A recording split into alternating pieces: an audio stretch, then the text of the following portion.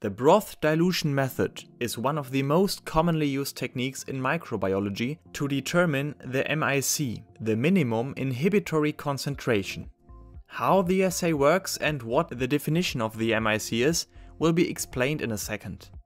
Before, make sure to hit the subscribe button and activate the notification bell. Antibiotics are extremely important drugs against bacterial infections. There are many mechanisms of action but what all those compounds do is to eliminate bacteria. More and more bacteria get resistant to antibiotics. This requires the constant development of novel drugs.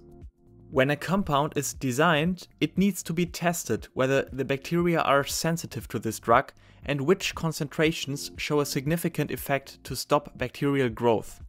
This concentration is referred to as the MIC, the minimum inhibitory concentration. Different concentrations of the compound are tested on the exact same number of bacteria. The growth is monitored over time. In this example, low concentrations of the antibiotic did not show any effect since the bacteria displayed growth. High and medium concentrations were able to inhibit growth. In this case, the minimum concentration that can inhibit bacterial growth, in other terms, the MIC, equals the medium concentration. Therefore, the MIC is considered the lowest concentration of a drug that prevents bacterial growth.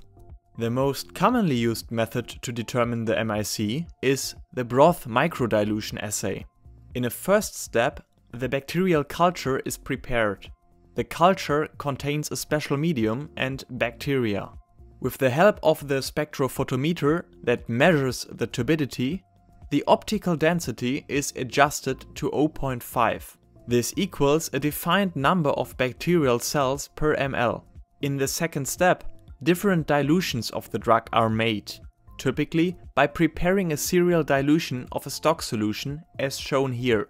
The different compound concentrations are now transferred into a 96 well plate. For the inoculation, we make sure to add the same number of bacteria to each well. Apart from samples, two controls are used for this assay. The growth control that contains no drug but just bacteria is expected to show how bacteria grow without the compound. The second one does not contain bacteria. The sterile control, which is only medium, is expected to not show any bacterial growth after incubation. The incubation is done over approximately 18 hours at 37 degrees. A plate reader can determine the turbidity at different time points.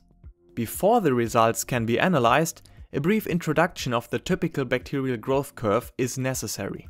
Since the bacteria will grow over time, the turbidity increases as well. Under normal conditions, the curve can be separated into different phases, starting with the lag phase, continuing with the exponential growth, also known as the log phase. After that, depletion of essential nutrients is one factor to limit bacterial growth in the stationary phase, which later even results in dying cells. Taking a look at the results, the growth control shows a typical growth curve like expected. The sterile control does not display any increase in turbidity. Since no bacteria should have contaminated the medium, this was also expected. Low concentrations of the compound, 2 and 1 microgram per ml, were not sufficient to prevent bacterial growth. Higher concentrations, reaching from 32 to 4 microgram per ml, however were enough to inhibit growth.